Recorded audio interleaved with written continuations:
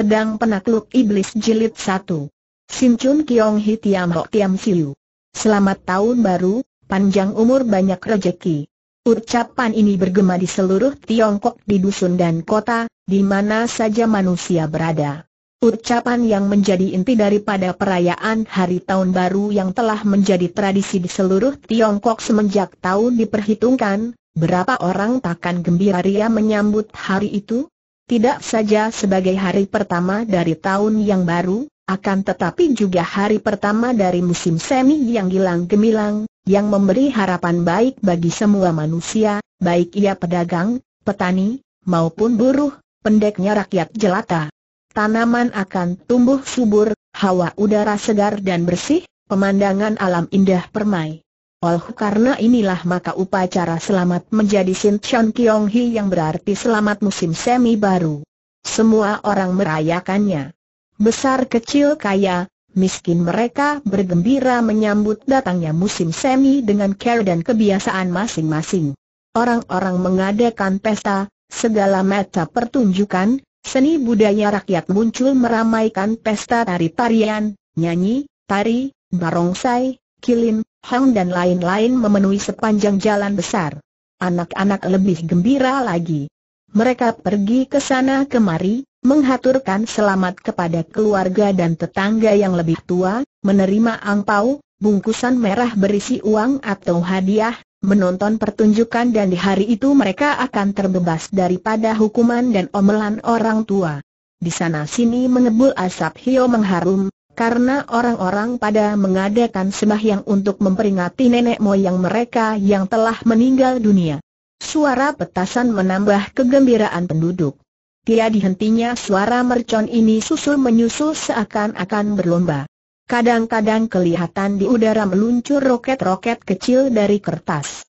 Pendeknya, semua orang menabung setahun penuh untuk menghabiskan uang tabungannya di hari-hari tahun baru itu, berpakaian baru, makan minum sampai mabok dan menghamburkan uang tak mengenal sayang.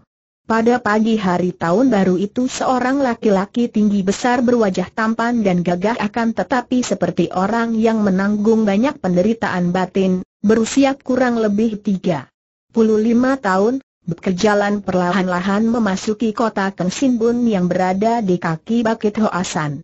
Laki-laki yang gagah ini berjalan sambil menuntun seorang anak kecil berusia kurang lebih tujuh tahun.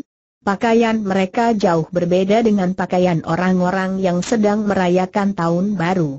Kalau semua orang besar kecil memakai serba baru, adalah dua orang ini berpakaian amat sederhana dan sudah kotor, bahkan laki-laki itu sudah ada tambalan pada bajunya. Gihau, semua orang merayakan hari musim semi, Mengapa kita tidak suara anak ini lemah lembut dan kata-katanya teratur rapi seperti ucapan seorang anak yang mempelajari bun, sastra, dan tata susila, akan tetapi terdengar nyaring bersemangat. Ia menyebut Gihau yang berarti ayah angkat kepada laki-laki itu. Orang gagah itu memandang dan senyum sedih muncul di bibirnya. Hang Ji, anak Hang, kita sedang dalam perjalanan, bagaimana bisa merayakan hari tahun baru? Sebentar lagi kalau kita sudah sampai di tempat tinggal Sucowemu, kakek gurumu, barulah kita bisa merayakan hari baik ini. Atau barangkali kau ingin merayakannya di kota ini. Kalau demikian, kita bisa mampir di rumah makan dan berpesta berdua, Bagaimana pikiranmu pada saat itu mereka telah memasuki kota dan bocah itu memandang ke kanan kiri dan melihat setiap rumah memasang meja sembahyang dengan segala macam masakan di atas meja dan Hio mengebulkan asap harum. Gihu aku tidak ingin makan minum, aku ingin dapat menyembahyangi ayah ibuku. Suara anak ini terputus-putus dan biarpun matanya tetap bening dan tajam, namun suaranya menunjukkan bahwa ia menahan isak tangis yang naik mendesak dari dada ke lehernya. Mendengar ini, hati orang gagah itu merasa perih sekali saking terharunya. Ia menghentikan tindakan kakinya dan membawa anak itu ke pinggir jalan di mana ia berdiri sambil mengelus-elus kepala anak itu. Ia termenung dan terbayanglah semua pengalamannya. Laki-laki tinggi besar yang gagah perkasa ini bukan lain adalah Li. Butek, seorang gagah yang dijuluki Hui Liong, naga terbang, Karena kalau ia mengamuk, pedangnya berkelebatan laksana seekor naga terbang yang menyambar leher para penjahat. Adapun anak kecil itu sebagaimana dapat diketahui dari cara ia memanggil Li Butek, adalah Wan Sin Hang anak angkat dari Li Butek. Kata-kata anak tadi membuat Li Butek termenung dan terbayang akan semua pengalamannya. Baiklah, Hang Ji. Mari kita menyembahyangi ayah bundamu secara sederhana saja, dengan girang dan berterima kasih Sin Hang ikut ayah angkatnya itu menuju ke sebuah toko yang menjual lilin, hiu, dan segala keperluan sembahyang. Setelah membeli alat-alat untuk bersembahyang secukupnya, Li Butek lalu mengajak anak angkatnya pergi ke sebuah li tempat yang sunyi. Di tempat ini Li Butek memasang alat-alat sembahyang, menyalakan membakar hio dan bersembahyanglah dua orang itu dengan cara masing-masing. Butek memegang hio di tangan sambil berdiri seperti patung, bibirnya tidak bergerak, akan tetapi dua titik air mata yang menurun pipinya menyatakan bahwa hatinya amat terharu. Wan Sin Hang berlutut di depan lilin dan mulutnya bergerak-gerak mengeluarkan bisikan, ayah dan ibu yang tak pernah ku kenal, aku anak Wan Sin Hang menghaturkan hormat dan selamat tahun baru. Mohon restu ayah ibu agar aku kelak menjadi seorang gagah dan pandai seperti Gihau. Li Butek ikut berlutut dan memeluk anak angkatnya itu. Entah mengapa, Begitu dipeluk Sin Hang merasa sesuatu yang amat menyedihkan hatinya sehingga tak tertahankan lagi lah menangis terisak-isak di dada ayah angkatnya. Sampai api hiu habis dan lilin kecil itu padam baru mereka berdiri lagi. Mari kita melanjutkan perjalanan, Sin Hong. Sucowomu di puncak Hoasan sudah menanti-nanti, apakah Sucow sudah tahu akan kedatangan kita tanya Sin Hong? Tahu sih belum, akan tetapi sebagai orang tentu dia mengharapkan kedatangan orang-orang muda di hari tahun baru, kembali mereka melalui jalan-jalan besar yang ramai sekali. Karena saat itu memang tiba waktunya menyalakan asap, Hio mengepul memenuhi kota. Sambil berjalan di sebelah ayah angkatnya Sin Hang memandang ke kanan Kin, melihat orang-orang yang sedang bersembahyang. Tiba-tiba sambil menarik-narik tangan Butek, ia mengajukan pertanyaan, Gihu biarpun aku sudah membaca dan mengerti tentang peraturan sembahyang akan tetapi maksudnya aku masih belum tahu. Mengapakah nenek moyang yang sudah mati disembahyangi? Mengapa disediakan hidangan dan masakan enak-enak bagi orang yang sudah mati? Apakah mereka itu benar-benar mempunyai roh, dan kalau benar, Apakah roh-roh itu dapat datang untuk makan hidangan-hidangan itu? Li Butek tersenyum dan diam-diam ia memuji kecerdasan otak anak angkatnya yang dalam usia sekecil itu sudah dapat mempergunakan pertimbangan akal budinya. Tentu saja roh halus tidak bisa makan hidangan-hidangan itu, Hang Ji. Akan tetapi, bukan itulah maksud daripada menyembahyangi nenek moyang kita orang bersembahyang untuk menyatakan cinta kasih dan penghormatan, sebagai tanda bakti kepada nenek moyang, bakti yang tak kunjung padam, baik moyang yang masih hidup maupun sudah meninggal dunia. Seorang anak yang berbakti dan mencinta orang tuanya, tentu selalu akan membuat senang hati orang tuanya, dan jalan satu-satunya untuk menyenangkan hati orang tua adalah menjaga baik-baik nama keluarganya. Untuk dapat melakukan hal ini, orang itu harus berperilaku baik, karena seorang yang melakukan kejahatan tak mungkin dapat menjaga nama baik keluarga. Kebaktian yang sesungguhnya takkan lenyap bersama dengan matinya orang tua, biarpun orang tua sudah mati, tetap saja anak yang berbakti menghormat dan mencinta orang tuanya dan selalu ia akan menjaga perilaku hidupnya untuk menjaga nama baik orang tuanya yang sudah mati itu. Karena itulah maka setiap orang menyembahyangi nenek moyangnya, untuk mempertebal rasa kebaktian ini sehingga mereka selalu takut untuk melakukan kejahatan karena tidak ingin mencemarkan nama orang tuanya. Sin Hang memang seorang anak yang cerdik luar biasa, maka kata-kata ini dapat ditangkap artinya dan ia mengangguk-angguk. Aku pun selalu akan mengingat orang tuaku yang sudah mati dan mengingat kepada Liu yang masih hidup agar selama hidup aku takkan melakukan perbuatan buruk yang dapat mencemarkan nama baik ayah bunda dan Liu. Li Butek girang sekali dan ia mengelus-elus kepala anak angkatnya. bagus sekali prasetyamu ini, Hang Ji. Memang sudah menjadi kenyataan bahwa nama baik orang tua akan terbawa-bawa kalau anaknya berbuat. Bahkan nama baik orang tua yang sudah meninggal akan terseret pula karena sekali menyebut nama anaknya, berarti menyebut pula nama ayahnya. Sebaliknya, kalau anaknya menjadi seorang manusia yang berperilaku bal, nama ayahnya akan terangkat baik dan menjadi harum, ini pun Sin Hang dapat mengerti karena ia sudah tahu bahwa si, nama keturunan, orang tua selalu dibawa-bawa oleh anaknya. Percakapan mereka terhenti ketika tiba-tiba serombongan anak-anak kecil berlari ke arah barat sambil berteriak-teriak girang. Ang BWSI, singa buntut merah, datang tanda seru benar saja serombongan pemain barongsai mendatangi di jalan raya itu dari barat. Suara gemreng dan tambur sudah ditabuh ramai sekali dan dari jauh sudah terlihat barongsai yang besar dan indah sekali berlenggang-lenggok di sepanjang jalan raya.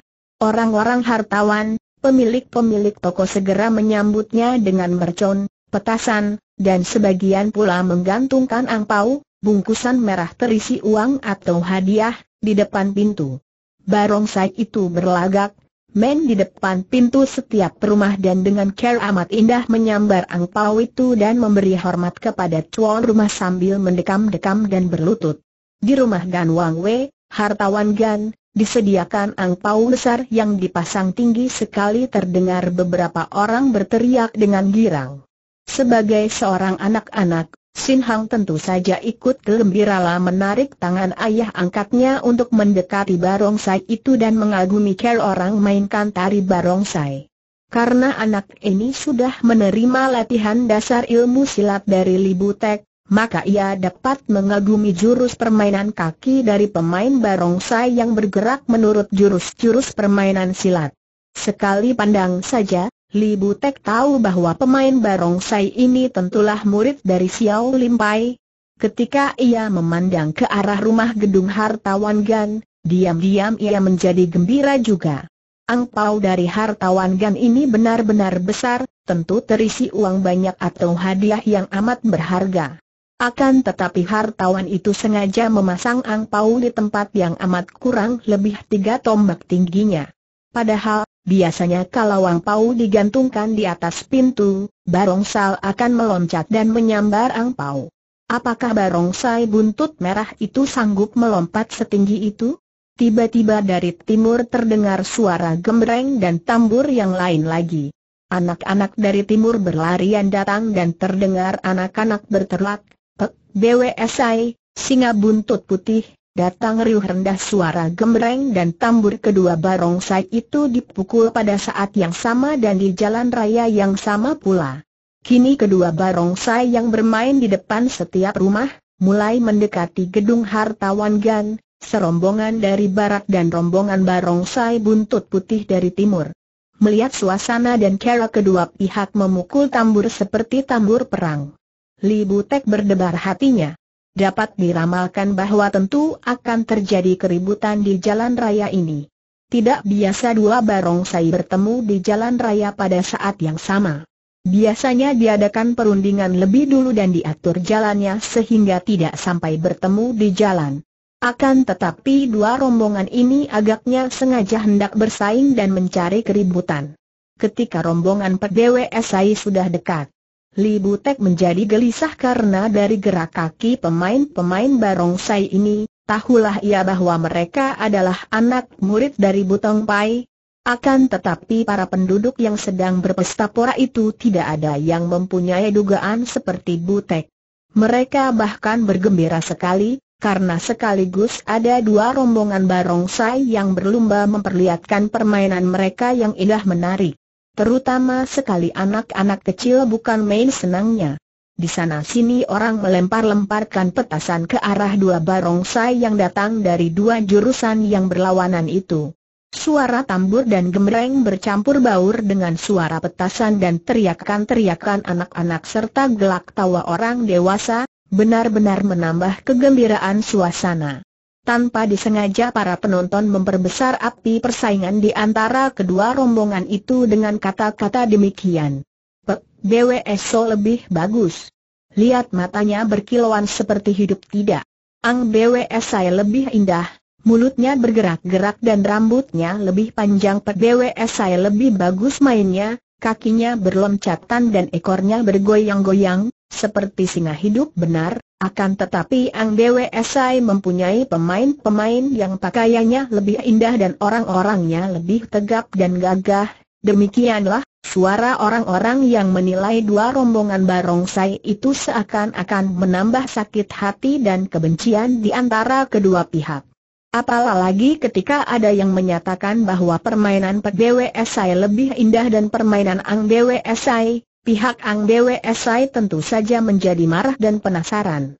Memang mereka harus akui bahwa permainan barongsai PBWSI lebih indah mainnya, karena memang permainan anak murid Butong Pai itu mengutamakan gerakan indah, sedangkan anak murid Xiao Limpai mengutamakan gerakan-gerakan yang kuat. Sebetulnya masing-masing memiliki gaya dan keindahan sendiri.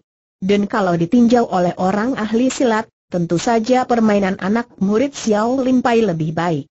Kini dua rombongan barongsai itu telah tiba di depan gedung Gan Wang Wei. Mereka agaknya sengaja mengatur agar supaya tiba di tempat itu dalam waktu yang bersamaan. Orang-orang yang menonton dua rombongan itu kini berkumpul menjadi satu, keadaan ramai bukan main. Gan Wang Wei sudah menyuruh para pelayan untuk menghujankan petasan ke arah dua barongsai itu yang seakan-akan kini menjadi keranjingan dan bermain dengan hebat penuh semangat. Karena kedua barongsai itu bermain di bawah gantungan angpau, maka kelihatan seolah-olah mereka adalah dua ekor singa yang hendak berkelahi, bukan main bagusnya. Apalagi, Dua rombongan itu sengaja pada saat memasuki gedung itu, menyerahkan barongsai kepada ketua atau guru masing-masing yang tentu saja lebih pandai bermain barongsai daripada anak buahnya. Pada saat yang telah tepat di bawah gantungan angpau, barongsai buntut putih melakukan gerakan melompat ke atas. Barongsai buntut merah tidak tinggal dia melihat angpau itu hendak dimakan lawannya, maka ia pun melompat cepat. Indah sekali dua gerakan itu, akan tetapi karena mereka melakukan gerakan hampir berbareng, mulut barongsai itu saling beradu dan tidak berhasil mencapai langpau. Duk dan keduanya kembali turun ke bawah menari-nari lagi dengan berangnya. Duk-duk ceng. Duk-duk ceng. Duk-duk ceng tambur dan gembreng kedua rombongan dipukul gencar seakan-akan mereka memberi semangat kepada barongsai masing-masing. Dar-dar dor-dor. Belum suara petasan juga tidak kalah gencarnya dilepas oleh keluarga dan pelayan Gan Wang Wei yang tentu saja menjadi gembira sekali melihat pertunjukan istimewa ini. Bagus. Hayo berlomba, siapa yang lebih pandai? Pek, BWSet, tangkap angpau itu lebih dulu demikian terdengar sorak-sorai penonton. Tahun baru kali ini benar-benar luar biasa dan ramai dengan adanya pertunjukan yang menarik dari dua barongsai yang bersaingan ini. Li Butek menahan napas. Sin Hong, sebentar lagi mereka akan bertarung. Alangkah bodoh dan memalukan orang-orang ini, memperebutkan angpau dan lupa akan peraturan Kengou dan persahabatan titik. Akan tetapi Sin Hong tidak menjawab, karena anak ini juga amat tertarik, memandang permainan kedua barongsai itu dengan wajah berseri dan sepasang mata bersinar-sinar. Li Butek menunduk dan memandang kepada anak angkatnya, dan ia tersenyum. Ia ikut girang melihat bocah ini bergembira.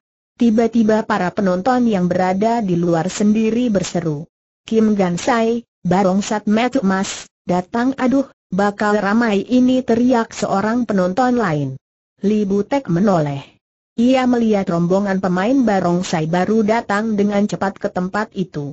Rombongan ini berbeda dengan dua rombongan yang saling berebut angpau. Lebih garang dan indah. Barongsai ini besar dan berat. Gembreng dan tamburnya besar-besar dan suaranya amat nyaring sehingga setelah dekat mengalahkan suara tambur dan gembreng dari dua rombongan terdahulu. Juga para pemainnya kelihatan gagah dan angker. Melihat gerak kaki pemain yang menjalankan barongsai matu emas ini, diam-diam Li Butek terkejut. Bukan orang sembarang yang memainkan barongsai ini, akan tetapi orang yang memiliki kepandaian silat yang berarti. Benar-benar bakal ramai sekarang pikir Li Butek karena ia maklum bahwa rombongan baru ini tentu bukan kebetulan datang di tempat itu pada saat yang sama. Apalagi rombongan ini tidak bermain di depan rumah-rumah yang dilalui melainkan langsung menuju ke rumah hartawan Gan.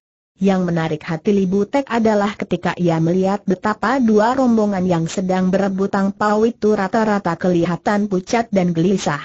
Apalagi para pemukul tambur dan gembreng metu mereka tertuju ke arah barongsai metu emas yang baru datang sehingga mereka menabuh asal bunyi saja, sama sekali tidak mengikuti gerak-gerik barongsai masing-masing sehingga keadaan menjadi makin ramai dan lucu.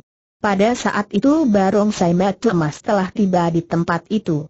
Para penonton otomatis memberi jalan dan dengan sebuah lompatan yang amat dahsyat sehingga menakutkan sebagian penonton, barongsai ini telah tiba di bawah tempat gantungan angpau di mana dua barongsai buntut putih dan merah sedang berlomba mendapatkan angpau yang dipasang di tempat tinggi itu. Sekarang para penonton disuguhi pemandangan yang benar-benar hebat, akan tetapi mereka kini agak merasa takut, Sungguh pun tak seorang juga mau meninggalkan tempat itu untuk melihat pertandingan barongsai yang benar-benar tak pernah terjadi. Barongsai metu emas yang lebih besar ini ternyata dapat bergerak jauh lebih gesit. Dengan gerakan kaki yang amat kuat, ia menyeruduk ke kanan dan barongsai buntut putih terkena serudukan ini menjadi terjengkang ke belakang. Hampir saja pemegang kepala barongsai jatuh kalau saja ia tidak cepat-cepat ditolong oleh pemegang ekor barongsai. Kemudian dengan gerakan yang serupa, sambil membalikan tubuh dengan indahnya.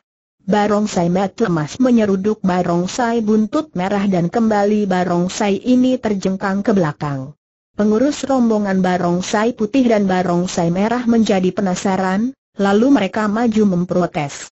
Akan tetapi, Pemimpin rombongan Barongsai Metu Mas, seorang yang usianya ada 50 tahun dan bertubuh jangkung kurus, melangkah maju dengan sikap tenang akan tetapi mulut tersenyum mengejek. Mengapa ribut-ribut katanya? Marilah kita sama lihat, siapa di antara tiga barong-barongsai yang sanggup mengambil angpau itu. Agaknya pemimpin barongsai mata, emas ini sudah dikenal baik oleh rombongan barongsai putih dan merah, mereka menjura dengan sikap takut-takut lalu seorang di antara mereka berkata, Ciok Loya, harap maafkan kami, akan tetapi kami dengan rombongan kami yang datang lebih dulu, hektometer, begitukah? Kalau begitu, mengapa kalian berebut? Sekarang begini saja, kita adukan tiga barongsai kita dan siapa yang terjatuh dianggap kalah dan tidak berhak mengikuti perlumbaan mengambil angpau dari Gan Wang Wei sambil berkata demikian, tanpa menanti jawaban ia lalu memberi tanda kepada kawan-kawannya penabuh gembreng dan tambur. Mereka ini agaknya sudah berunding lebih dulu karena tiba-tiba tambur dan gembreng itu dipukul gencar, melakukan tambur perang. Tentu saja dua barongsai yang lain maklum akan tanda ini, apalagi karena pihak mereka juga memainkan tambur dan gembreng tanda bertempur, maka tiga barongsai itu lalu siap sedia dengan gaya dan aksi masing-masing. Para penonton menjadi gembira bukan main. Sudah banyak mereka menonton pertandingan pibu, adu kepandaian, antara ahli-ahli silat di panggung Wuitai, panggung tempat adu silat, akan tetapi mengadu barongsai, Sungguh kejadian yang amat aneh dan tak pernah terjadi. Gan Wang Wei adalah seorang yang gembira dan juga tabah. Ini tidak mengherankan karena dia adalah seorang harlawan besar yang selain mempunyai hubungan dengan para jagoan juga ia menjadi kesayangan para pembesar setempat. Juga dia sendiri memelihara jago-jago dan tukang-tukang pukul. Melihat betapa tiga barongsai itu akan bertanding, ia lalu memberi perintah kepada para pelayan untuk mengeluarkan lebih banyak petasan lagi dan sebentar saja tempat bertanding tiga barongsai itu dihujani petasan. Benar-benar luar biasa sekali tahun baru ini. Li Butek sendiri, biarpun ia seorang yang banyak pengalaman dan sudah menghadapi hal yang aneh-aneh, Selama hidupnya baru kali ini melihat barongsai bertanding tiga buah banyaknya sekaligus lama lum bahwa pertandingan macam ini jauh lebih sulit daripada pertandingan pibu biasa, karena sebagaimana diketahui, pemain barongsai terdiri dan pada dua orang, seorang pemegang kepala dan seorang memegang ekor. Keduanya tertutup oleh kain yang merupakan tubuh barongsai sehingga sukar sekali melihat ke depan. Pemegang kepala yang selalu di depan, tak dapat menggerakkan kedua tangan untuk bertempur, karena kedua tangannya sudah dipergunakan untuk memegang kayu pegangan di dalam kepala barongsai. Hanya kedua kaki mereka yang bebas, sedangkan pandangan mati mereka pun amat terbatas dan terhalang yakni melalui mulut barongsai. Dengan berdebar dan tegang Li Butek menonton dengan asyiknya, bahkan ia lalu memanggul Wan Sin Hang di pundaknya agar bocah ini dapat menonton dengan leluasa, tidak terhalang oleh lain orang penonton. Maka terjadilah pertempuran yang hebat. Kalau saja pertempuran itu hanya merupakan permainan tiga barongsai sekaligus, biarpun sudah amat indah, agaknya tidak menimbulkan suasana yang demikian tegangnya tambur dan gembreng dipukul sekeras-kerasnya, petasan hujan di atas kepala tiga barongsai itu. Hem, pertempuran yang curang, kata Li Butek dalam hatinya. Terang sekali barongsai met lemas dikeroyok dua, memang demikianlah keadaannya. Barongsai bermata emas yang kepalanya lebih besar dan berat dan gerakan-gerakan kakinya demikian teratur tanda bahwa yang memainkannya memiliki ilmu silat yang tinggi dikeroyok dua oleh Barongsai PBWSI dan Ang Bosai. Agaknya dua orang yang memainkan Barongsai buntut putih dan buntut merah ini tahu akan kelihatan lawan, muka mereka yang tadinya berebut angpau kini menjadi kawan mengeroyok Barongsai Meja Emas. Namun, sebentar saja pertandingan itu berakhir. Ketika barongsai buntut putih dan barongsai buntut merah menyerang dari kanan kiri, menyekruduk ke arah pemain barongsai metu emas, tiba-tiba barongsai ini melompat keras sekali ke belakang sehingga dua barongsat yang mengeroyoknya saoling beradu kepala sendiri. Tiba-tiba pemain barongsai metu emas menggerakkan kakinya susul menyusul. Terdengar suara tak-tak dan dan pemain-pemain barongsai yang mengeroyok itu roboh. Sambil berteriak kesakitan. Ternyata bahwa tulang kering mereka telah patah oleh tendangan lawan tadi. Baiknya mereka cepat-cepat melepaskan kepala barongsai masing-masing, karena pemain barongsai matu emas itu cepat menghampiri kepada barongsai buntut putih dan sekali ia menendang, pecahlah kepala barongsai ini. Setelah itu, ia menggerakkan barongsai dan memukulkan kepala barongsai ini ke atas barongsai buntut merah, terdengar suara keras dan kepala barongsai ini pun hancur. Otomatis penabuh-penabuh gembreng, tambur dan barongsai-barongsai yang terkalahkan menghentikan permainan mereka. Semua orang menjadi pucat dan semata yang terdengar hanyalah permainan tambur dan gembreng dari barongsai matu emas, dipukul perlahan-lahan sedangkan barongsai itu sendiri menari-nari dengan gaya sombong sekali. Kepala barongsai diangkat tinggi-tinggi, diputar ke kanan kiri seakan-akan seekor singa hidup mencari lawan baru.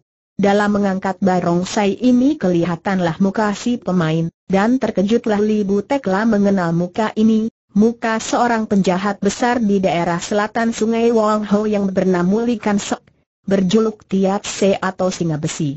Agaknya dua rombongan yang dikalahkan juga mengenal orang ini karena mereka menjadi makin ketakutan dan gelisah sekali. Hartawan Gan, seorang, yang gemuk pendek dan bermuka periang, merasa khawatir juga melihat kesudahan dari permainan ketiga barongsai ini lalu keluar dan dengan suara ramah tamah berkata, Cui sekalian, kami merasa terima kasih sekali bahwa Cui dan ketiga rombongan telah sudi meramaikan rumahku dengan permainan barongsai yang amat indah. Karena sudah jelas bahwa rombongan Kim Gansai menang ia berhak mencoba untuk mengambil angpau yang saya gantungkan di atas. Agar dapat diketahui oleh umum, di dalam angpau itu terisi emas sebanyak lima tel. Akan tetapi, bagi rombongan yang barongsai yang dikalahkan, saya akan menyumbang masing-masing dua tel emas untuk memperbaiki barongsai mereka yang rusak.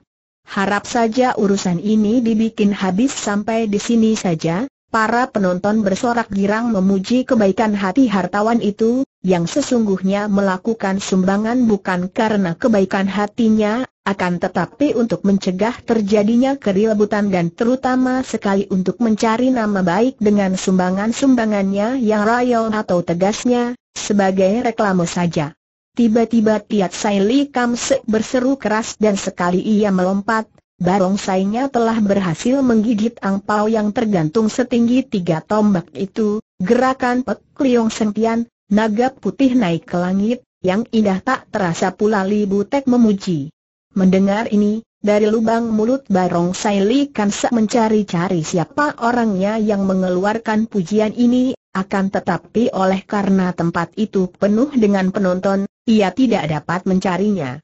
Dengan gerakan yang kuat sekali, ia melontarkan barongsai ke atas setinggi tombak sambil berseru, Chong Te, adik Chong, terimalah dan rombongan pemain Kim Gansai melompat seorang laki-laki bertubuh Kate dan dengan cekatan sekali ia menerima kepala barongsai itu, demikian pula seorang pemain lain menggantikan kedudukan pemain buntut barongsai. Demonstrasi ini disambut dengan tepuk tangan riuh oleh penonton. Tiat Sai Li kan selalu menghampiri rombongan Pegwe Eso dan Ang Hwe Esai sambil berkata sombong. Kalian sudah menjadi pecundang, dan lekaslah enyah dari sini. Sebelum kami berhenti bermain di kota ini, kalian tidak boleh muncul, juga tidak boleh menerima sumbangan dan siapa pun juga. Karena itu sumbangan dan Gan Wang juga boleh kalian terima. Ada yang tidak setuju kata-kata ini merupakan tantangan terbuka. Akan tetapi rombongan Esai dan Ang Dewe Esai yang sudah tahu bahwa perkumpulan yang mengeluarkan Kim Gan amat kuatnya, juga di situ terdapat pula jagoan ini menjadi gentar dan dengan kepala tunduk mereka bersiap-siap untuk pergi. Gan Wang Wei yang melihat ini diam saja, karena hal itu dianggap bukan urusannya. Juga hartawan ini tahu diri, ia tidak mau menanam bibit permusuhan dengan perkumpulan Bu Cintang yang mengeluarkan Kim Gansai itu. Akan tetapi pada saat itu tiga orang pengemis yang berpakaian baru akan tetapi penuh dengan tambalan melompat maju sambil berkata, tidak adil. Tidak adil daripada emas dan sumbangan diberikan kepada jagoan-jagoan sombong yang pada hakikatnya tak lain daripada perampok-perampok keji, lebih baik disumbangkan kepada jembel-jembel seperti kami sambil berkata demikian. Seorang di antara mereka yang bertubuh jangkung bermuka kuning bergerak cepat sekali dan tahu-tahu ia telah merampas sang pau yang tadi disambar oleh Barong Sai Kim Gasai. Bungkusan angpau ini telah dipegang oleh seorang anggota rombongan sebagai bendahara dan orang ini tidak dapat mengelak lagi karena gerakan pengemis itu benar-benar cepat sekali. Bukan main marahnya rombongan Kim Gan Sai dan orang-orang yang tadinya menonton, cepat-cepat menyingki karena maklum bahwa tentu akan terjadi keributan hebat.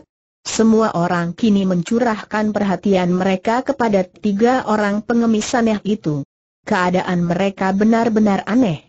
Perampas Ang Pau tadi bertubuh kurus jangkung, bermuka kuning dan biarpun pakaiannya penuh tambalan, akan tetapi terbuat dari kain yang baru semua. Demikian juga dua orang kawannya memakai pakaian penuh tambalan, yang seorang kurus kecil seperti orang cacingan, yang kedua bertubuh gemuk dan bundar seperti kat, dan mulutnya selalu tersenyum lebar. Ketika Li Butek ikut memandang, menjadi tertegun dan heran. Hem, mereka ini dari Hek In Kai Pang, perkumpulan pengemis sabuk hitam, mengapa muncul di sini pikirnya. Sementara itu, pengemis kurus yang meraum pasang pau, lalu membuka bungkusan itu dan memberi dua tel kepada Esai dan Ang Dewe Esai, katanya tertawa, Gan Wang Wei telah berbaik hati mengganti kerugian kalian, nah, terimalah bagian kalian dan segera pergilah. Sisanya yang satu tel untuk kami jembel-jembel miskin, dua rombongan yang barongsainya rusak, menerima dengan takut-takut, akan tetapi mereka tahu diri dan cepat-cepat pergi dan tempat itu. Hanya sebagian yang tabah saja diam-diam mencampurkan diri dengan penonton untuk mengetahui bagaimana kelanjutan pertengkaran itu. Tiat Saili kan menjadi merah mukanya. Alisnya berdiri dan giginya dikerutkan. Kalau tadi ia tidak segera turun tangan, adalah karena ia mengenai pula pengemis-pengemis yang pada pinggangnya diikat sabuk hitam. Ia menjura kepada si jangkung sambil berkata, Chuan Chuan dari Hak In Kai Pang mengapa mencampuri urusan permainan barongsai?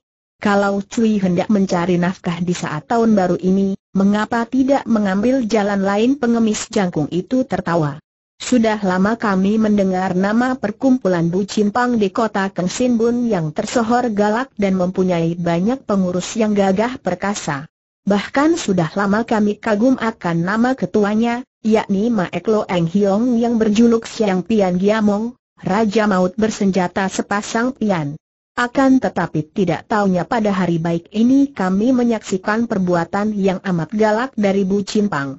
Perbuatan sewenang-wenang, tapi apakah tanggung jawab Bu Cimpang ataukah kau orang Shili yang sengaja hendak membusukkan nama Bu Cimpang dan memperlihatkan kegagahan Tiat Saili kan semarah sekali, mukanya yang sudah merah itu menjadi makin merah, matanya mendelik. Kalau aku orang Shili memandang muka Nona Kiang Chun Eng yang menjadi pangcu, ketua, Hek In Kai Pang, apa kalian kira aku dapat menahan sabar lagi? Hai, orang-orang Hek In Kai Pang. Kalau kalian perlu sumbangan, tidak apa uang lima cel lemas itu kalian ambil, akan tetapi jangan kalian menghina nama Bu Cimpang. Hinaan harus dibayar dengan pukulan kecuali kalau si penghina minta maaf sambil berlutut. Pilih saja sekarang, minta maaf atau dihajar pengens jungkung itu tertawa terbahak-bahak. Aku Hek Lokai, pengemis tua hitam, selamanya memang menjadi pengemis, akan tetapi minta maaf kepada seorang pencoleng? Aha, hal ini selamanya aku tidak pernah dan tak sudi lakukan. Bagaimana dengan kalian? Ia bertanya kepada dua orang kawannya. Pengemis makan pun dari seorang pencoleng aku Xiao Mokai, pengemis setan cilik, tak sudi lakukan, apalagi minta maaf jawab pengemis yang bertubuh kurus kecil. Ha, ha, ha, perutku penuh makanan dari orang-orang yang menaruh hati kasihan kepadaku. Akan tetapi aku belum pernah minta apa-apa dari pencoleng, apalagi minta maaf, jangan harap Oi Bin Kai, pengemis muka kuning, sudah lakukan jawab pengemis gendut yang memang bermuka kuning itu sambil tertawa-tawa. Kurang ajar, kalau begitu kalian sudah bosan hidup bentak Tiat Saili Kansa dan di lain saat ia telah mencabut sebatang golok besar sambil memberi tanda kepada kawan-kawannya. Sebentar saja tiga orang pengemis itu sudah dikurung oleh sebelas orang bucimpang yang memegang senjata tajam. Akan tetapi tiga orang pengemis itu tidak gentar biarpun mereka hanya memegang sebatang tongkat hitam yang tidak karuan macamnya, ada yang bengkok-bengkok ada yang lurus. Serang Li Kansa memberi aba-aba sambil menerjang pengemis jangkung dengan goloknya. Hek Lokai menangkis dan membalas dengan totokan tongkatnya. Ternyata ia lihai sekali dan begitu menangkis dapat membalas serangan lawannya. Akan tetapi Li Kansa juga lihat ilmu goloknya, cepat dapat menangkis dan terus membabat. Kawanan Bu Pang sudah sering tak maju dan terjadilah pertempuran yang hebat dan mato-matian. Suara senjata beradu dengan tongkat menerbitkan suara nyaring, tanda bahwa ternyata tongkat-tongkat itu pun terbuat daripada logam keras seperti baja. Gan Wang Wei cepat memasuki gedungnya, mempersiapkan orang-orangnya untuk menjaga pintu depan, sedang dia sendiri lalu naik ke loteng untuk menonton pertempuran itu dari atas. Orang-orang yang tadi mengerumuni tempat itu lalu bubar dan hanya menonton dari jauh dengan hati berdebar-debar. Kalau pertempuran sudah demikian hebat berarti akan ada nyawa melayang dan tentu saja mereka merasa ngeri. Hanya Li Butek memondong Wan Sin Hang masih berdiri tenang. Gihu, aku benci pemain-pemain barongsai itu. Mereka orang-orang jahat. Mengapa Giho tidak membantu para pengemis yang dikeroyok kata Sin Hang penasaran. Tak perlu, kepandaian tiga orang pengemis Hekin Kai Pang itu tak boleh dibuat main-main dan mereka takkan kalah kalau hanya dikeroyok oleh sebelas orang itu, jawab Li Butek dan melihat pada pengemis anggota Hekin Kai Pang itu teringatlah ia akan semua pengalamannya dahulu dengan Nona Tiang Chun Eng, ketua dari Hekin Kai Pang yang cantik dan genit. Tak terasa lagi merahlah mukanya saking malu dan jengah. Di dalam cerita pendekar Budiman, Hwa Ing Hyong, telah diceritakan, bagaimana Li Butek pernah terjatuh di bawah pengaruh kecantikan Kiang Chun Eng dan menjadi seorang tak berdaya, dipermainkan seperti boneka. Baiknya akhirnya ia dapat melepaskan diri dari pengaruh nona ketua perkumpulan Hekin Kai Pang itu. Sekarang tak terduga-duga ia bertemu dengan anggota-anggota Hekin Kai Pang, tentu saja semua pengalaman itu terbayang kembali dan ia merasa malu kepada diri sendiri. Akan tetapi ucapan Li Butek tadi ternyata tidak keliru. Kepandaian tiga orang pengemis itu benar-benar liai biarpun dikeroyok oleh sebelas orang, mereka tidak terdesak, bahkan berturut-turut telah berhasil merobohkan enam orang. Yang masih dapat mengimbangi kepandaian mereka hanya Tiat Sailisa dan empat orang kawannya, akan tetapi singai besi ini dengan kawan-kawannya juga sudah mulai terdesak oleh permainan tongkat yang liai dari tiga orang pengemis itu. Pada saat pertempuran sedang ramai-ramainya, tiba-tiba berkelebat bayangan yang gesit sekali dan tahu-tahu di situ telah berdiri seorang laki-laki tinggi kurus yang bermuka pucat. Laki-laki memandang marah dan membentak, berhenti. Tahan semua senjata bagi Li Kansa dan kawan-kawannya yang mengenal suara ini sebagai suara ketua mereka, tentu saja tidak berani membantah dan cepat melompat ke belakang, Adapun tiga orang pengemis itu pun terkejut karena bentakan nyaring sekali, tanda bahwa orangnya memiliki luakang yang tinggi. Mereka cepat melompat mundur dan memandang. Orang itu mengeluarkan kata-kata yang tegas. Selamanya Bu Cimpang tidak pernah ada urusan dengan Hakim Kai Pang.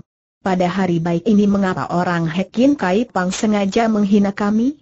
Apakah orang Hekin Kai Pang sudah tidak memandang mukaku lagi ataukah sengaja hendak mencari permusuhan Hek Lokai yang agaknya menjadi wakil dua orang kawannya, segera maju dan berkata, Malong Hiong harap suka memaafkan kami bertiga.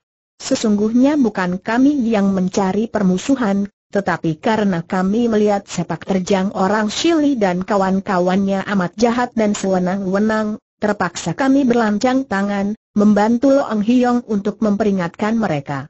Harap Long Hiong suka menegur mereka itu agar mereka tidak menyeret nama Bu Cimpang yang harum ke lembah pecombran, orang itu memang Siang Pian Ciam, Maek, ketua Bu Cimpang yang tadi menerima laporan dari seorang anak buahnya tentang peristiwa yang terjadi di depan gedung Gan Wang Pue. Mendengar pengemis tinggi itu bukan minta maaf atas kesalahan mereka akan tetapi sebaliknya menjelekkan nama baik para anggotanya, bahkan menyuruh ia menegur anggota-anggotanya sendiri, bukan main marahnya. Kumisnya yang pendek itu seakan-akan berdiri dan sekali. Tangannya bergerak tahu-tahu ia telah memegang siang pian, senjata ruyung lemas, yang arnanya cijauan.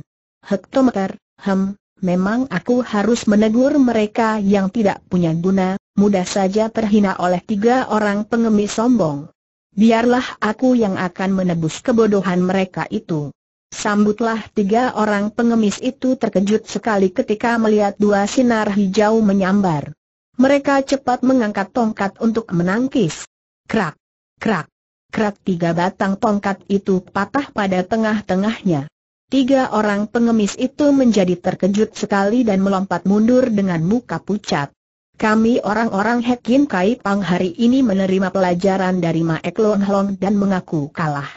Biar lain kali ketua kami akan datang menghaturkan terima kasih, kata Hek Lokai sambil menjura. Akan tetapi sekali menggerakkan kakinya, Xiang Pian Giamong sudah melompat menghadapi mereka. Enak saja kalian ini, sudah menghajar orang-orangku akan angkat kaki dengan mudah. Agar ketuamu Nona Kiang Chim Eng percaya akan penuturanmu, kalian harus meninggalkan sebelah telinga di sini. Setelah berkata demikian, sepasang piannya bergerak cepat hendak menghancurkan sebelah telinga tiga orang itu. Teraang. Teraang bunga api berpijar menyilaukan mata ketika pian itu beradu dengan sebatang pedang yang menangkis serangan dua senjata pian itu. Li Butek ketika melihat bahaya mengancam tiga orang pengemis itu, telah melemparkan tubuh Sin Hang ke atas lapangan pertempuran sedangkan dia sendiri lalu melompat dan menangkis sepasang pian itu. Selagi Siang Pian Giamong yang kaget melompat ke belakang, Li Butek berseru keras. Turunlah, Hang Ji tubuh Sin Hang tadi dilontarkan ke atas dan kini meluncur ke bawah dan anak yang sudah terlatih baik ini dapat meluncur turun dengan kedua kakinya di bawah. Akan tetapi, melihat ayah angkatnya hendak menyambut kedua kakinya ia merasa kurang ajar sekali kalau ia membiarkan kedua tangan ayah angkatnya menerima telapak kakinya yang kotor. Maka dengan gerakan Loh B, semacam salto, atau poksai di tengah udara sehingga kini ia meluncur dengan kepala di bawah. Para penonton yang melihat hal ini menahan napas, khawatir kalau-kalau anak itu akan mendapat bencana. Akan tetapi dengan tenang Sin Hang menggunakan kedua tangannya ke bawah, diterima oleh kedua tangan butek yang sudah menancapkan pedang di atas tanah dan sekali gerakan tangan orang gagah ini membuat Sin Hang berjumpalitan dan tiba di atas tanah dalam keadaan berdiri tegak, sedikit pun tidak bergoyang atau kehilangan keseimbangan badan. Li Butek Tai Hiap Hek Lokai mengenai pendekar ini yang dulu pernah menjadi kekasih Tiang Chun Eng Ketua Hakim Kai Pang. Kalian pulanglah, biarkan aku menghadapi Bu Cimpang dan mintakan maaf untukmu, kata Li Butek. Pertemuan dengan anggota-anggota Hekin Kai Pang tidak menyenangkan hatinya karena mengingatkannya akan pengalamannya yang memalukan dengan ketua perkumpulan pengemis itu.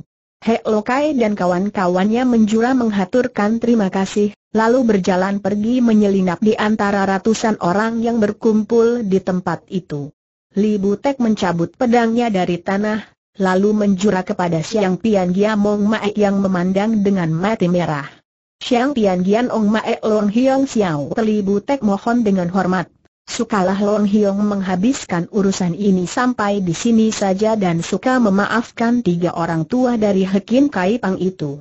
Mengingat akan hari baik ini, tentu Long Hiong sudi memandang muka Xiao Te dan memaafkan mereka, Xiang Tian Giamong tahu bahwa orang yang menangkis Xiang Tiannya ini memiliki kepandaian tinggi, maka ia berlaku hati-hati dan biarpun ia marah sekali, bertanya.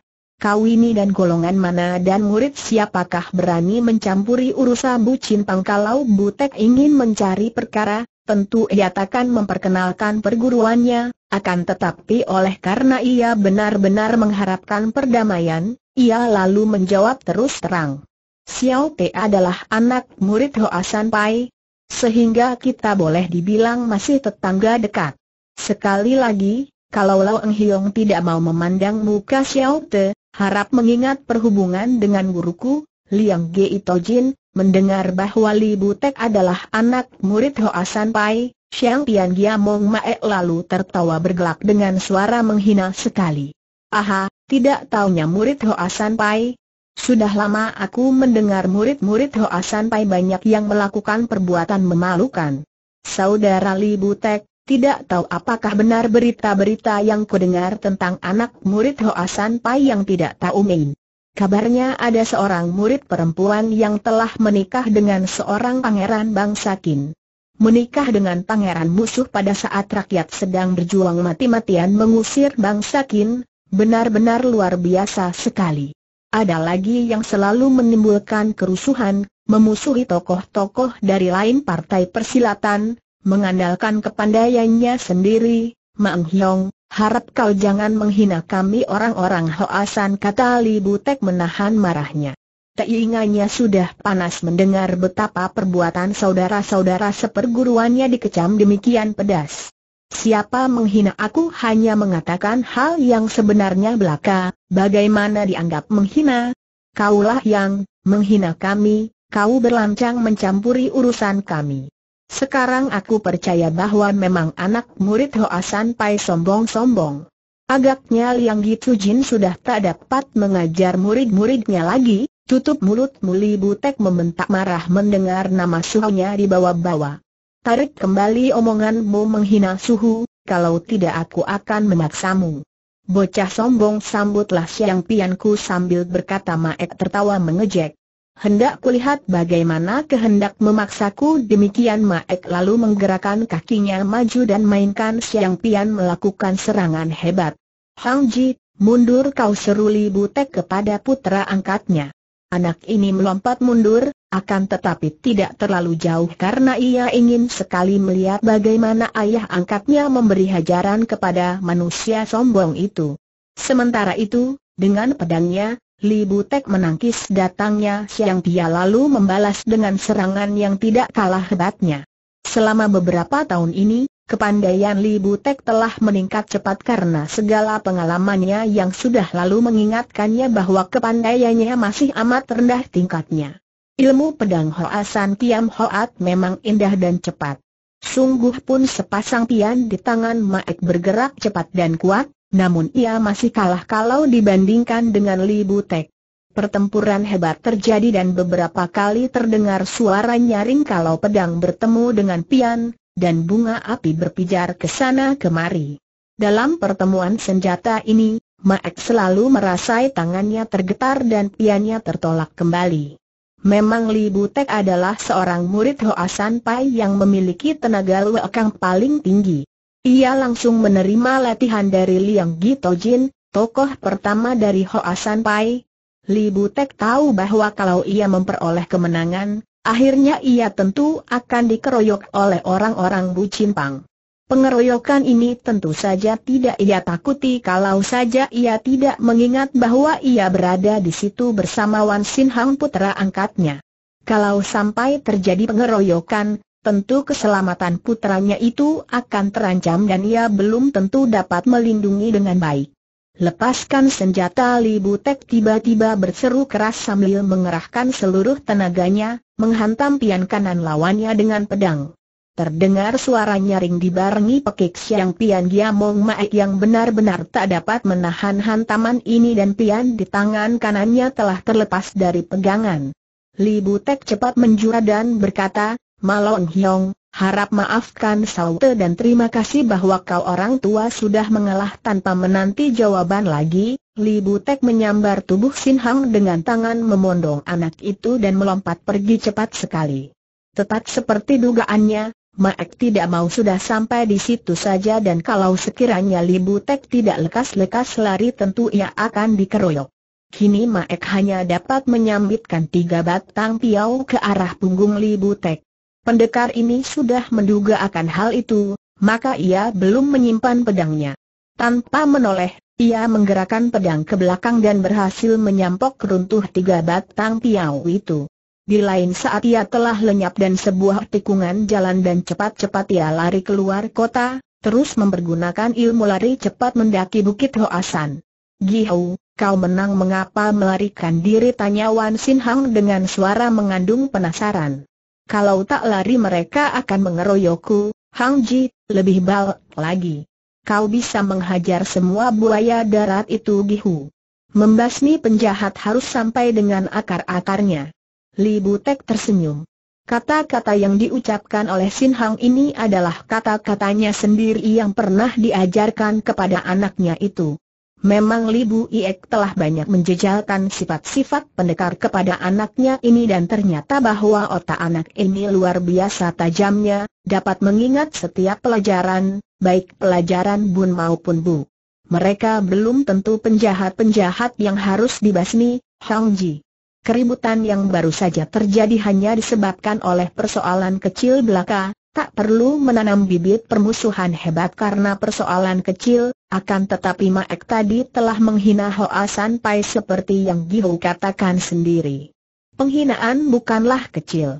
Dia mengatakan fitnah yang keji-keji terhadap anak murid Hoa San Pai bukan fitnah Hang Ji, memang yang ia katakan tadi semua betul dan pernah terjadi. Apa, murid perempuan Hoa San Pai menikah dengan pangeran bangsa Kin? Tak mungkin. Bukankah menurut Gihau, semua murid Hoa San Pai membantu perjuangan mengusir orang-orang Kin? Betulkah itu? Murid Hoa San Pai yang mana yang telah menikah dengan pangeran bangsa Kim Li Butek menahan napas. Apa yang harus ia jawabkan? Anak ini sudah mulai besar dan telah dapat mempergunakan akal budi dan pikirannya. Lebih baik ia berterus terang. Ia lalu menurunkan anak itu dan mengajaknya duduk di bawah pohon. Jangan kau kaget Hang Ji. Murid perempuan yang menikah dengan Pangeran Kim itu bukan lain adalah mendiang ibumu sendiri, Tio Linen Sumwe Sin Hang melompat berdiri seperti diserang ular. Wajahnya yang tampan menjadi pucat sekali dan matanya memandang kepada Li Butek seperti memandang iblis yang muncul di tengah hari. Gihu, kalau begitu, kalau begitu mendiang ayahku, dia, Li Butek mengangguk. Mendiang ayahmu adalah Pangeran Kin itulah, namanya Wan Yen Kan dan telah menikah dengan ibumu, menjadi Wan Kan dan menjadi seorang Han, Tak mungkin. Gihu bilang bahwa orang-orang Kin jahat. Tak mungkin orang Kin jahat menjadi ayahku anak ini mengeluarkan kata-kata sambil berteriak-teriak marah. Mukanya merah sekali sekarang dan dua titik air mata mengalir ke atas pipinya, dua tangannya yang dikepalkan erat-erat. Li Butek menangkap tangan anak itu dan menariknya ke atas pangkuannya lalu ia mengelus-elus rambut itu penuh kasih sayang. Tidak semua orang kin jahat, anakku, seperti juga tidak semua bangsa kita baik. Ada orang jahat tentu ada orang baik, demikian sebaliknya. Ayahmu, biarpun seorang pangeran kin, namun ia benar-benar seorang gagah yang berbudi mulia. Kau tak usah kecewa atau malu mempunyai seorang ayah seperti dia, biarpun dia seorang pangeran musuh, tak tertahankan lagi menangis Wan Sin Hang di atas pangkuan ayah angkatnya. Hang Ji, tak baik seorang laki-laki menangis, kata Li Butek setelah ia membiarkan anak itu menangis beberapa lamanya. Wan Sin Hang cepat menyapu matanya dengan ujung bajunya dan memandang kepada ayah angkatnya dengan mata memohon. Gihu, ceritakanlah semua tentang mendiang ayah bundaku, ceritakanlah tentang Hoa San Pai dan anak-anak muridnya, baiklah, Sin Hong. Kau akan kubawa menghadap kepada Su Wemu, Memang baik kalau kau mendengar tentang keadaan Hoa sampai agar kau tahu jelas segala persoalannya, kemudian Li Butek menceritakan semua kejadian yang lalu sebagaimana yang telah dituturkan di dalam cerita pendekar Budiman. Akan tetapi bagi para pembaca yang belum pernah membaca cerita pendekar Budiman, baiklah kita mendengarkan penuturan singkat dari Li Butek. Tokoh Hoa Sanpai ada empat orang, Li Butek mulai bercerita, pertama adalah guruku sendiri Yakin Liang Gitojin, kedua Liang Bisutai yang sudah gugur dalam pertempuran. Liang Bisutai seorang murid wanita, yakni Tiolingen Sumoy, ibuku tanya Sin Hong. Ya, ibumu. Tokoh ketiga adalah Ang Siang Tek Sian Seng yang mempunyai murid Gan Ho Seng Sute, kau maksudkan Paman Hui Ho, macan terbang, yang tinggal di Kanglam benar, dialah Hui Ho Gan Ho Seng yang sekarang menjadi kepala Piao Su di Kanglam. Kemudian, tokoh keempat adalah Tan Seng.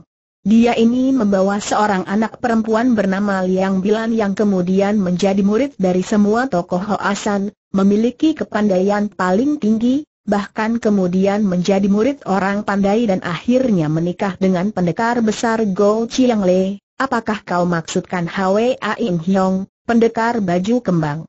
Benar dia. Sayang sudah lama aku tidak bertemu dengan dia dan lebih sayang lagi kau belum pernah melihatnya. Dialah pendekar yang sudah menggemparkan dunia Kang Ou beberapa tahun yang lalu. Kelak tentu aku akan membawamu menghadap pendekar besar itu, karena kalau kau bisa menerima bimbingan ilmu silat dari dia, kau akan beruntung sekali, lalu bagaimana dengan ibuku? Bagaimana dia bisa menikah dengan seorang pangeran Kin pada masa itu? Kami semua anak murid Hoa Sanpai berjuang untuk menggulingkan pemerintah Kin.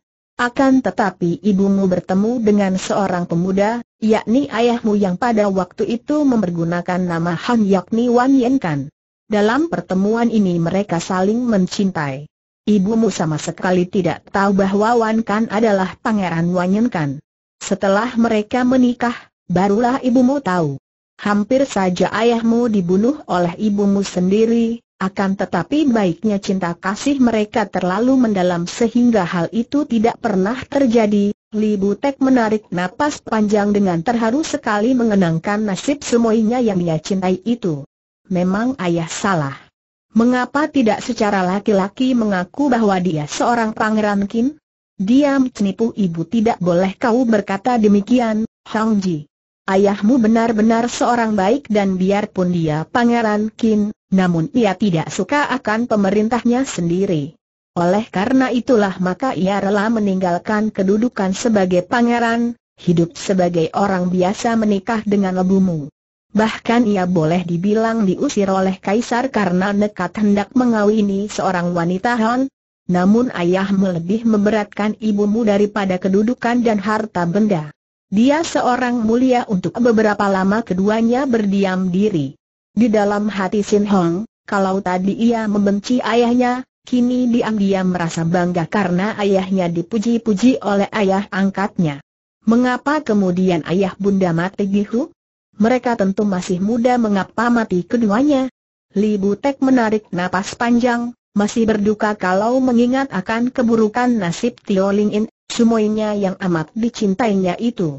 Ayahmu dibunuh oleh gurunya sendiri yang bernama Bamau Hoatsu.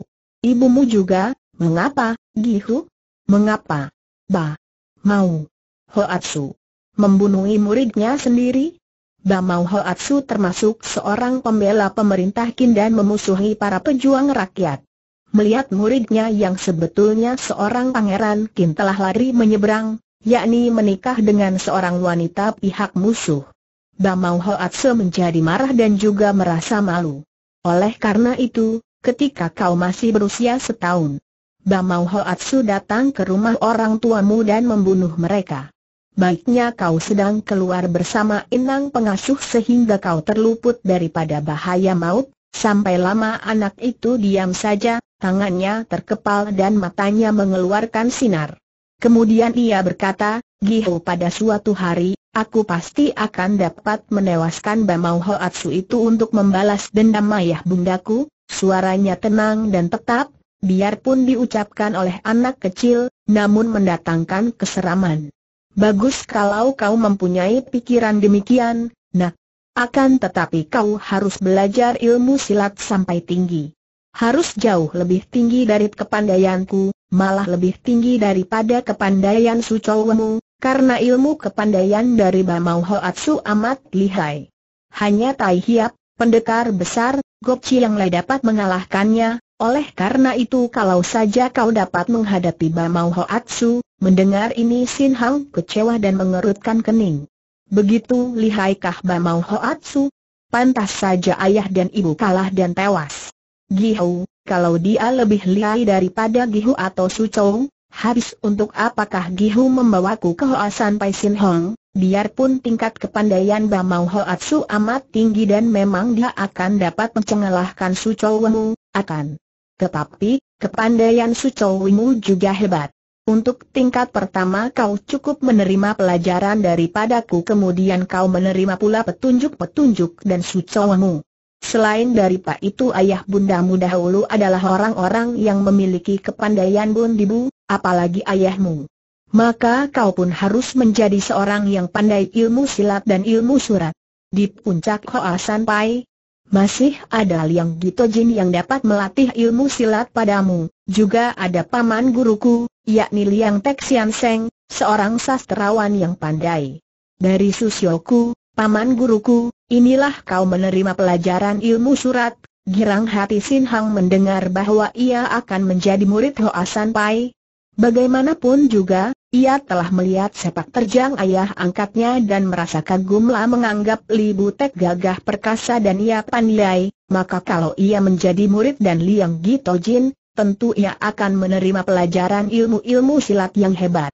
Apalagi di sana ada Liang Tek Sian Seng yang akan mengajarnya tentang kesusastraan, gembira hatinya. Kalau begitu, hayo kita melanjutkan perjalanan, Gihuli Butek dan Sin Hang melanjutkan perjalanan mereka mendaki Bukit Hoasan. Karena pemandangan alam di pegunungan itu amat indahnya, Sin Hang merasa senang sekali.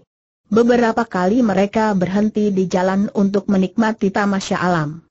Li Butek yang sudah beberapa tahun tinggal di pegunungan ini ketika ia belajar di Hoasan Pai, menunjukkan tempat-tempat yang indah kepada anak angkatnya. Di lereng depan itu terdapat tanah datar yang amat baik untuk berlatih silat. Dahulu aku dan ibumu, juga saudara-saudara seperguruan lain sering kali berlatih ilmu silat di situ, Sin Hang tertarik. Mari kita ke sana, Gihu.